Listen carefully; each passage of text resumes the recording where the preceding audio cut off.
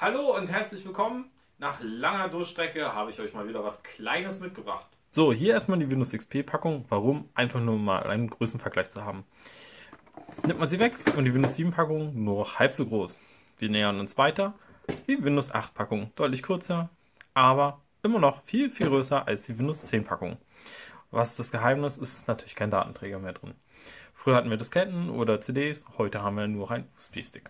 Falls jemand sich wundert, warum die Windows 10 äh, Version Familie heißt und nicht äh, Home, ganz einfach, ich habe eine französische Packung. Auf der Deckseite haben wir schlicht und ergreifend ein Windows-Fenster, leicht schräg gesetzt, wie das Windows-Logo heute ja ist, die Edition und dass es von Microsoft kommt mit den lustigen vier Kacheln.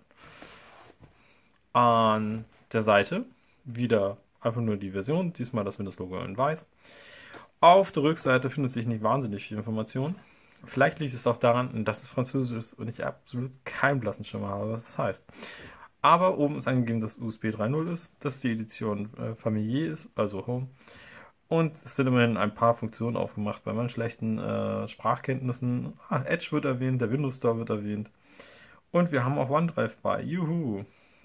Ja, ferner soll ich diese Packung in den grünen Punkt werfen, nicht wegwerfen. Den, das wahrscheinlich auf den Stick. Und hurra, es ist CE geprüft. Ansonsten soll ich mich halt an Dublin wenden. Auf der Unterseite finden wir die Systemanforderungen. Die haben sich seit äh, Windows Vista kaum verändert. Ein 1 GHz Prozessor, 2 GB Arbeitsspeicher und 20 GB Festplattenspeicher.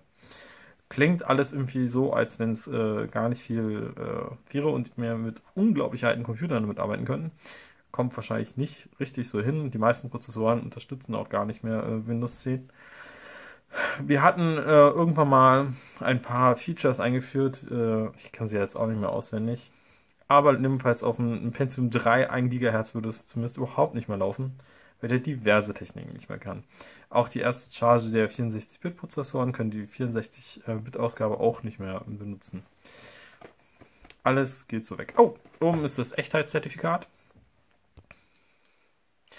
Und äh, ja, da steht nochmal, welche Edition man hat. 32, 64-Bit ist immer Standard bei Windows 10 bei den Retail-Packen.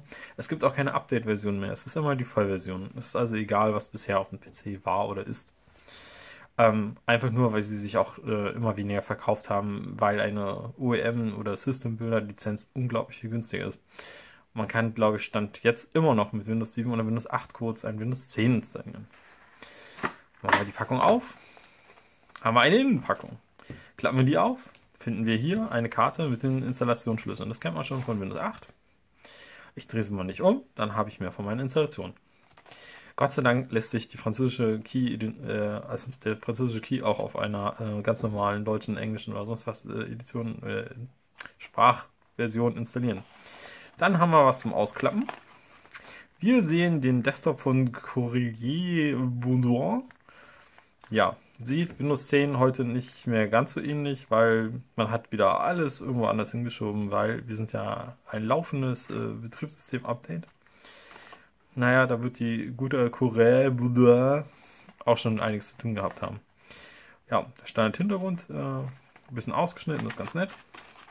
Und unter diesem ganzen Kram finden wir, also das ist auch erstmal die, die gesamte Anleitung, die ganze Dokumentation, ein Willkommen und in vier Schritten das installieren, USB-Stick einstecken, äh, wahrscheinlich booten mit äh, dem Stick, äh, den Produktkey eingeben und am Ende fröhlich noch die Lizenz abnicken.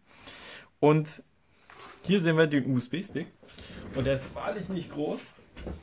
Ich kann mal rausnehmen. Es ist einfach nur so ein Stiftchen. Selbst so ein kompakter USB-Stick ist nochmal ein Tick größer. Und das Blaue ist nicht da, wo man es reinsteckt, sondern das ist einfach das Ende. Unter diesem Aufkleber befindet sich äh, die Kontaktflächen von USB. Sie muss man den Aufkleber hier halb abreißen, zurückschieben, damit man es in einen blöden USB-Schacht kriegt.